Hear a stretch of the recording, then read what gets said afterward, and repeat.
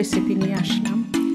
এই রান্নাটা হচ্ছে খুবই হেলদি চিংড়ি মাছ শাক দিয়ে, দুই ধরনের শাক আছে এখানে, আর আলু দিয়ে রান্নাটা হবে।